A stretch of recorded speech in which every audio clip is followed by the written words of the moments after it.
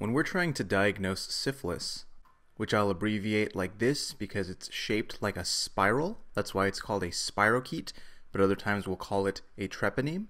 So when we're trying to diagnose syphilis, one of the downsides is that we can't diagnose the specific stage. So those signs and symptoms are used to determine what stage of syphilis a person has. Now there are two types of diagnostic tests to determine whether a person has syphilis. The first set are referred to as non-treponemal test. And remember that treponemal just refers to the genus name of the syphilis bacterium, Treponema. And in contrast, there are also treponemal tests that we can use to diagnose syphilis in a person. And the main difference is that non-treponemal tests are mainly used to screen patients. So they're for screening whereas treponemal tests are for confirming a diagnosis in a patient that's already been screened, which means that we usually do our non-treponemal tests first, and then we do treponemal tests afterward. Now, as the name suggests, non-treponemal tests don't use proteins from the syphilis bacterium, whereas treponemal tests will use proteins that were grown and taken from the syphilis bacterium. Now, the first non treponemal test we'll talk about is kind of a mouthful. It's referred to as the Venereal Disease Research Laboratory Test. The Venereal Disease Research Laboratory Test. And the way it works is that you get a sample of the patient's blood. So I'll label here this is the patient's blood. And you add that to this well right here. This well will have, strangely enough, a sample of ox heart extract. So this has ox heart extract, which is kind of weird. But the reason why we use this is because ox hearts tend to have a protein that I'm drawing right here. And I'll draw this protein up here again. They have this protein that antibodies from our blood sample will mistake as syphilis treponeme proteins, which means that if this patient has been infected with syphilis and they have this antibody right here that is supposed to bind syphilis proteins, we will see when they're combined. So I'll draw this guy over here. So when we combine these two, we'll see the anti-syphilis antibodies binding to this protein that's found in the ox heart extract. And after we add a fluorescent tag or a dye that allows this reaction to light up, we can actually visualize it under a microscope, therefore indicating a positive test. Now moving on, the next non-treponemal test we can do is referred to as a rapid plasma reagin test, a rapid plasma reagent test, or RPR, which, as you can see here, is exactly the same as the VDRL test. The only two differences is that we add these carbon particles to our well. So these carbon particles are present here. So I'll write in our legend down here that these are carbon particles. That will help us if there's a reaction that is present here to see the binding of the antibody with the protein, not with a microscope, but with our eyes. So as you might imagine, the rapid plasma reagent test tends to be faster than the VDRL test. And overall, both of these tests, these non-treponemal tests, tend to have high sensitivity, meaning they're unlikely to have false negatives. But they have low specificity, which means that it's possible that a positive test may be wrong or false as you might guess from using the ox heart extract rather than the actual protein from treponemes. And there are several viruses, drugs, even rheumatic heart disease, or even lupus can cause a false positive. So that's why once we screen for syphilis with these tests, we need to confirm our diagnosis. And we do that by directly using the treponeme protein.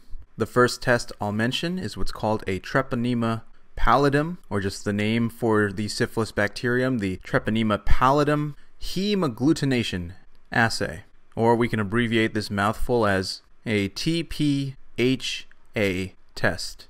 A TPHA test. And the setup for this test is very similar to what we saw earlier with the non-treponemal test, as you can see here. But instead, this is a sample of the syphilis antigen, which I'll draw here not as a darker green, but as the exact green I've been coding syphilis to be and I think you know what happens from here. You'll get the antibody binding on to the syphilis antigen that we've grown in a laboratory, and this actually happens to such a huge extent that you'll actually see the blood to start clumping. It's because we'll have a lot of the antibodies present and they're just going to feast on the syphilis protein, just feast all over it. So this clumping phenomenon, so I'll write here clumping, is also known as agglutination, which is where this test gets its name. You use the Treponema pallidum antigen to cause your blood to clump, which would confirm the diagnosis. The last of the treponemal tests I'll mention is what's referred to as a fluorescent treponemal antibody, which I'll abbreviate as AB, the fluorescent treponemal antibody absorption test, which in some places you might see abbreviated as FTA ABS. So an FTA ABS test. Now this is a similar setup as the hemagglutination assay test we saw above, as you can see here, and I'll take this minute to label that the antibodies I've been talking about are that protein in the blood there. Now the main difference between this test and the hemagglutination assay is that you also add a drop of this fluorescent tag, similar to what we were doing earlier with the non-treponemal studies in both cases when we had this fluorescent tag. And all this represents is a dye that will bind the antibody if it ends up grabbing onto the syphilis protein here, or the syphilis antigen. So what you should see here is the antibody binding onto the syphilis antigen. Maybe you'll even get some clumping going on as well.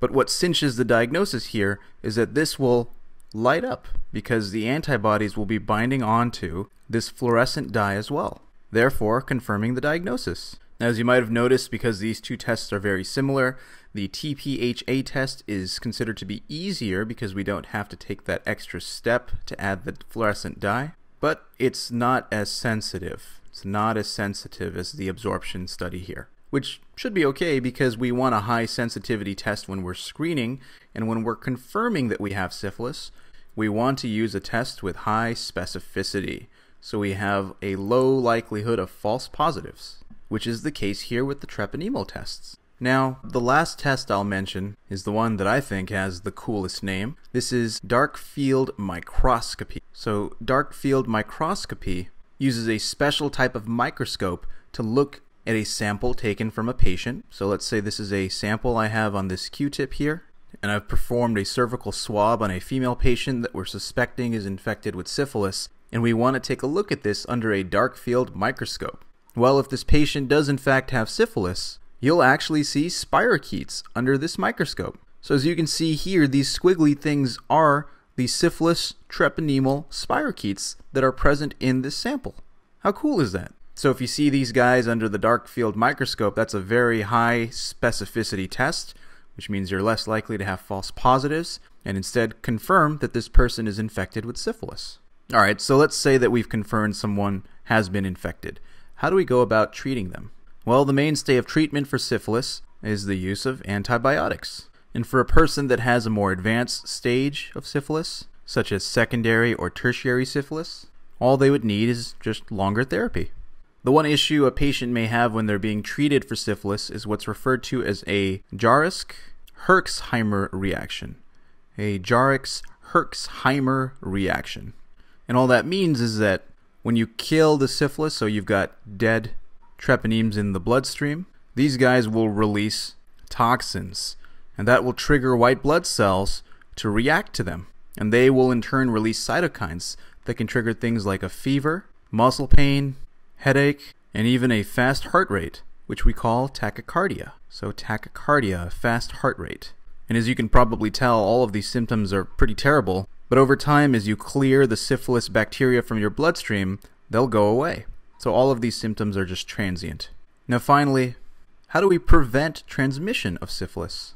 And the answer here is just to decrease direct contact with an infected patient when having sex. And so we earlier talked about the three different types of sex, like vaginal sex, anal, and oral sex, that we can prevent transmission by using condoms. In the case of oral sex, we can additionally use dental dams to block transmission.